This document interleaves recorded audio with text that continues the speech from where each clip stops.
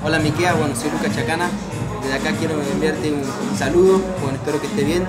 Y nada, eh, te mando un abrazo grande, un beso gigante.